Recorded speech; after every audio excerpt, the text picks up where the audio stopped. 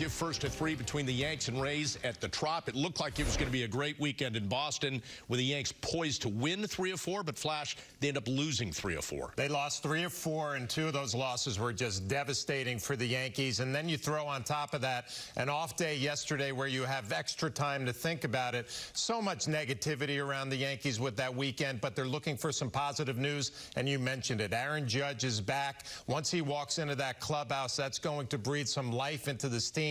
We know what type of a player he is out on the field, but maybe more importantly, showing up in the clubhouse and leading this team, trying to get them back on track. Right, he's their best player. Can he be the player who else gives them a boost? And we've asked this question over and over after the Yankees have had painful losses. How are they going to bounce back?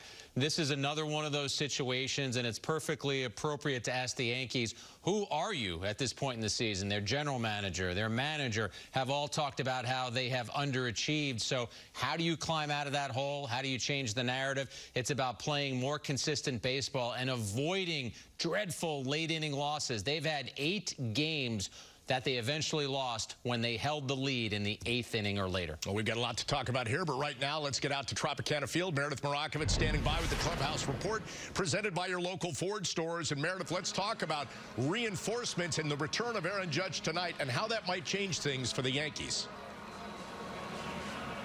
Well, Bob, there's no doubt about it. The Yankees are excited to have Aaron Judge back in the lineup and back in right field. He was actually here at Tropicana Field about 3.30 this afternoon tracking some pitches, and someone was throwing a bullpen. He came by and said he is ready to go tonight. You better believe that he's been upset that he hasn't been able to be in the lineup, missing 10 games post All-Star break. Kyle Higashioka is also back. He is not in tonight's lineup, though. Earlier, Aaron Boone spoke about penciling number 99 back in the lineup.